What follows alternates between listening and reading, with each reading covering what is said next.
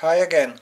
Today I'll talk about coupling or combining channels outputs in series and parallel. That's possible with this power supply as with many others who has at least two isolated channels and in our case we need to take into account that for better performance down programmer circuits is also implemented and down programmer circuits in some cases could generate some undesirable results. The good thing with this power supply is that it has built-in two power relays for combining outputs in series and parallel and in the same time firmware can take care about some issues what I will demonstrate first with channels output connected externally.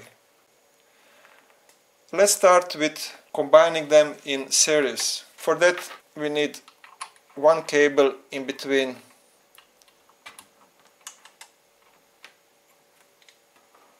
Channels output one is minus to another plus. And remaining goes to our load. Some current is flowing and both channels is still in uh, constant voltage. So far so good and now we'll continue with different scenario. First I will disconnect load. And I will set another voltage. This time something what is very high. In total it's a 70 volt. And with the same load we will probably enter constant current mode of operation on the both channel yes. But something else is also happened. We can see that output voltage is quite different on each channel. And not not just that. The first channel is stop sourcing and start sinking current. And due to that we have that minus on the output because down programmer it's activated and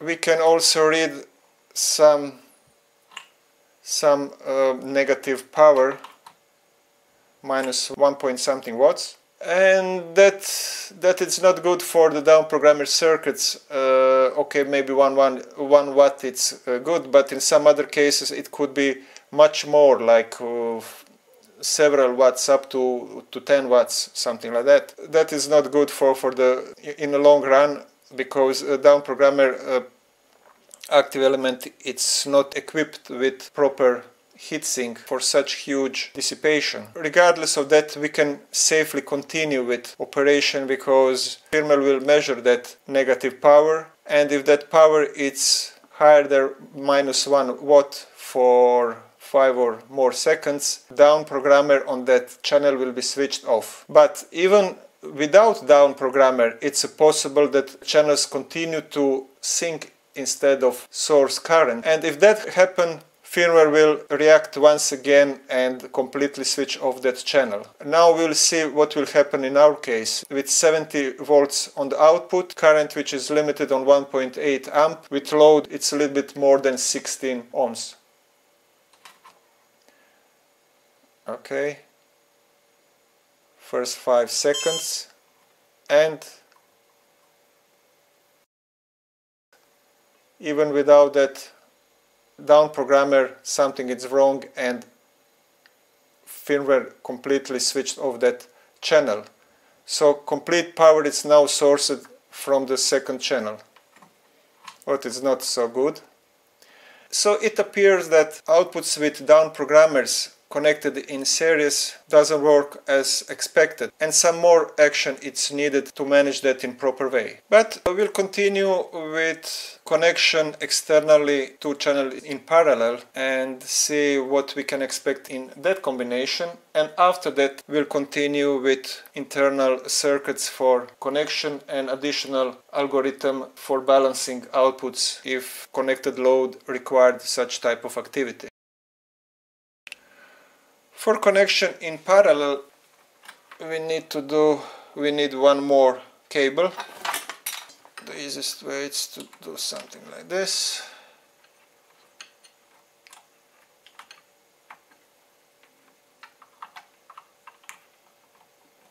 Okay.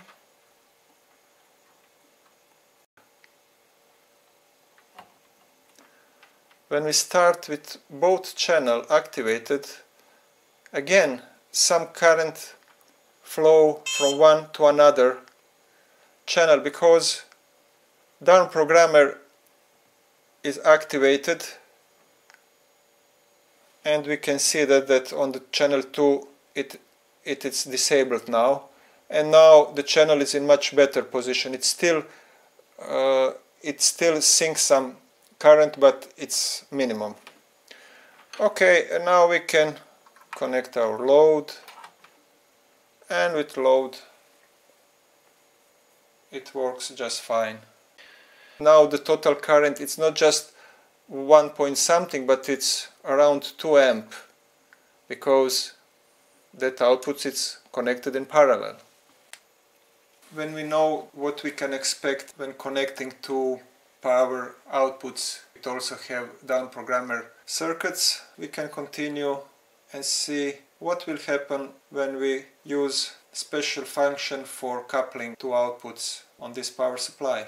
To continue we don't need any of these cables. We have all what is needed inside the box and we'll try to find where is a coupling feature. Channel coupling option could be found on both channel like this again advanced settings and coupling settings. We can choose type of coupling. Let's continue with series. There is an additional info screen that two output terminals will be used. And here we go and now we have one display for both channel with bigger numbers. And we can put some output values. And it looks like this. Okay I can connect my load and see what will happen. Here is indication that output combined output is powered. And we can see that output is in constant current mode. We reach the maximum current. We can continue with values what we have in the first part of the presentation. It was 70 in total and 1.8 okay? And what will happen now because we are in co constant current mode firmware automatically detect some imbalances and try to rectify that by setting a new output voltage which in total it's now only about 50 instead of initially set 70 but at 50 it's good it's more than enough because we need only about 30 volts for 1.8 amp.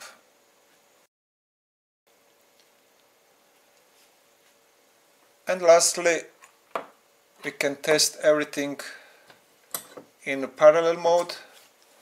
I will use a smaller load 1 ohm.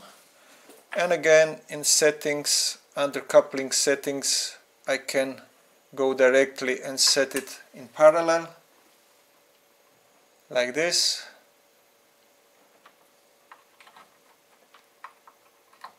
And here I can yes go like 20 amps or can say immediately 8 amp and see how it looks like. Or I can go with small and I don't need to count what is a new total output current it's displayed here. I just want to show you that in that settings which is now for the both channel there is also some differences. For instance we can now see information for both channel. This information is particularly interesting. And some of the option will be locked because doesn't make sense in in our current mode of operation coupled parallel. We can also see something like this here. And of course in all that menus that additional information will be clearly stated. Or in main screen we can see how it looks like now also all that limitation and everything it's now a combination of two outputs